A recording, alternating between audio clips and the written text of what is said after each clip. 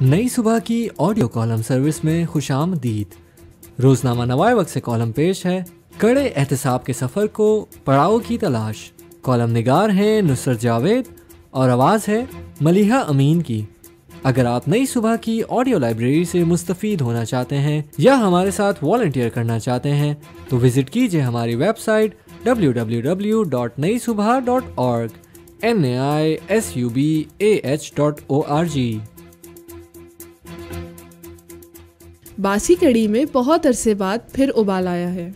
M Q M کے خالد مقبول صدیقی نے وفاقی کابینہ سے مستعفی ہونے کی دھمکی دی ہے۔ شکایت ہے کہ عمران حکومت کراچی کے مسائل پر توجہ نہیں دے رہی۔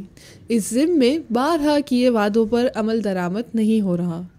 صدیقی صاحب نے اعلان فرمایا تو ریگولر اور سوشل میڈیا میں تھر تھلی مچ گئی۔ لوگوں کو یاد آنا شروع ہو گیا کہ عمران خان صاحب کی تحریک انصاف کو قومی اسمبلی میں اکثریت حاصل نہیں۔ جولائی دو ہزار اٹھارہ کے انتخابات کے دوران واحد اکثریتی جماعت بن کر ابھری تھی۔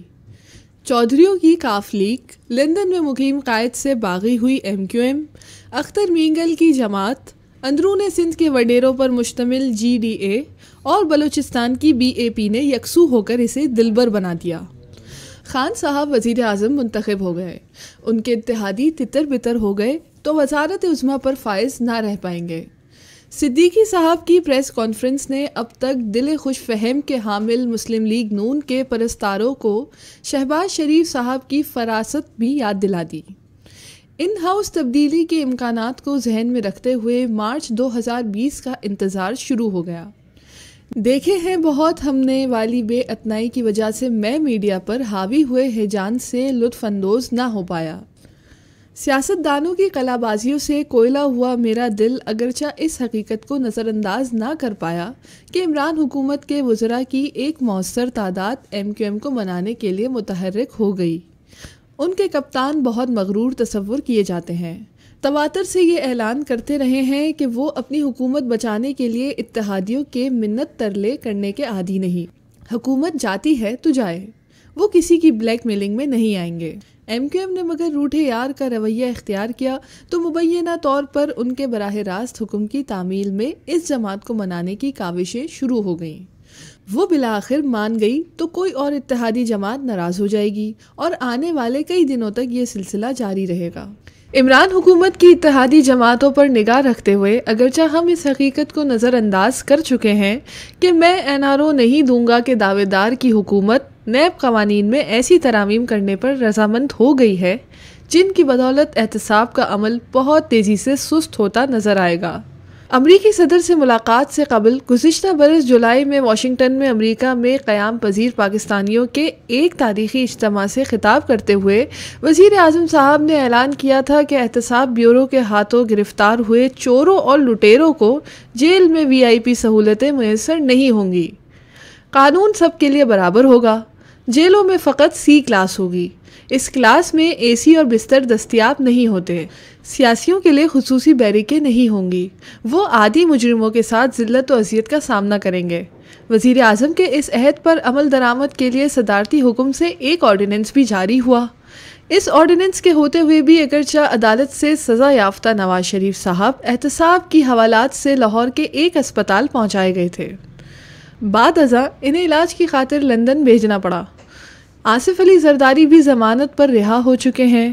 منشیات فروشی کے الزام میں دھرے رانا ثناء اللہ صاحب اب میڈیا اور قومی اسمبلی میں گج وج رہے ہیں۔ امید ہے بقیہ چوروں اور لٹیروں کی زندگیوں میں بھی راحتیں چند دنوں بعد لوٹ آئیں گی۔ اگست دو ہزار اٹھارہ سے کڑے احتساب کی جانب دھوم دھام سے جاری ہوا سفر اب پڑاؤ کی تلاش میں ہے۔ ہماری سیاست معمول کی جانب لوٹتی ہوئی نظر آ رہی ہے۔ انقلاب تھک لیا ہے۔ مراد سعید صاحب کی تند و تیز تقاریر البتہ اب بھی جاری ہیں۔ شہزاد اکبر صاحب قوم کی لوٹی ہوئی دولت کا سراغ لگانے میں اب بھی مصروف ہیں۔ اپنے کارناموں کی مگر تشہیر سے گریز کرنا شروع ہو گئے ہیں۔ مک مکا والی دستاویزات کو کابینہ کی منظوری سے خفیہ بنا دیتے ہیں۔ مقامی سیاست میں مہاذرائی کی شدت میں جو کمی آئی ہے، وہ کسی بھی حوالے سے حیران کن نہیں۔ اس کالم میں تواتر سے فریاد کرتا ہوں کہ جولائی دو ہزار اس کالم میں تواتر سے فریاد کرتا ہوں کہ جولائی دو ہزار اٹھارہ میں انتخاب ہوئے تھے۔ انقلاب فرانس یا ایران جیسا کوئی واقعہ رونما نہیں ہوا تھا۔ تحریک انصاف بالآخر سسٹم کے ساتھ سمجھوتے کرنے کو مجبور ہوگی۔ سسٹم بالآخر جیت گیا ہے۔ اس کے مطابق ہماری ہر نو کی اشرافیہ کو اس کے جسے کے مطابق حصہ ملتا رہے گا۔ دری اسنا، میرے اور آپ جیسے لاکھوں دہاڑی دار اور تنخواہ دار بد نصیبوں کو دل تھامے آئندہ ماہ کے آغاز میں سوئی گیس کے بلوں کا انتظار کرنا ہوگا۔ مہنگائی کی لہر توانا ہوتی رہے گی۔ عمران خان صاحب کے ایک بہت ہی چہیتے مشیر جناب عبد الرزاق داؤد صاحب نے اعتراف کیا ہے کہ ملک میں مہنگائی بڑھ رہی ہے۔ اس ضم میں ہماری اذیتوں کا سبب انہوں نے کاروباری طبقات کو ٹھہرایا۔ کاروباری لوگوں کو دوش دیتے ہوئے اگرچہ وہ یہ حقیقت فراموش کر گئے کہ وہ خود بھی کوئی درویش صرف بوائے اسکاؤٹس نہیں ہیں۔ ان کا خاندان ان بیس گھرانوں میں نمایاں ترین تھا جو ایوب خان کے دور میں اپنائی پالیسیوں کی بدولت وطن عزیز میں ہر کاروبار کے اجارہ دار بن گئے تھے۔ عمران خان صاحب ایوب خان سے وابستہ نام نہاد ترقی کے اس اشرے کو جو انیس سو اٹھاون سے انیس سو اڑسٹھ تک مسلط رہا۔ بہت حسرت سے یاد کیا کرتے ہیں۔ وزیر اعظم کے منصب پر فائز ہونے کے بعد وہ یقیناً اس اشرے کو دہرانے کی ہر ممکن کوشش کر رہے ہیں۔ ان کی کوششوں سے نئے اجارہ دار گھرانے ہی نمودار ہوں گے۔ میرے اور آپ کے دلزار کے کوئی اختیارات باقی نہیں رہیں گے۔ ہم سر جھکائے بجلی اور گیس کے بل ادا کرتے رہیں گے۔ اپنی نوکریوں کو غلامانہ بے بسی سے برقرار رکھنے کی ہر ممکن کوشش کریں گے۔ ہمارے ہمسایہ ممالک میں مگر جو ہو رہا ہے، اس پر بھی نگاہ رکھنا ضروری ہے۔ مودی سرکار کے خلاف عوامی مزاحمت تھمنے کا نام ہی نہیں لے رہی۔ چند دن قبل اس کالم میں دلی کے شاہین باغ کا ذکر ہوا تھا۔ وہاں دھرنا دیے بیٹھی خواتین کی تعداد گزرے اتوار کی شب ایک لاکھ سے تجاوز کر گئی۔ سنا ہے اب ممبئی اور کلکتہ میں بھی ایسے ہی دھرنے برپا کرنے کی تیاری ہو رہی ہے۔ بھارت کی طرح اب ایران میں بھی متوسط طبقات بے چین ہو رہے ہیں۔ حیران کن حقیقت یہ بھی ہے کہ تہران اور دیگر شہروں میں مظاہرے تعلیمی اداروں ہی سے شروع ہوئے۔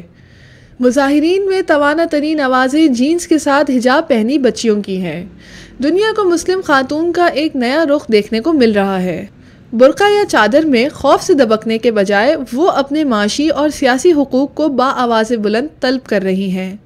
مغربی میڈیا مسلم عورت کے اس حیران کن رخ کی پذیرائی کے بجائے ایران میں پھوٹے ہنگاموں کو اپنے مخصوص ایجنڈے کے تحت پروجیکٹ کر رہا ہے۔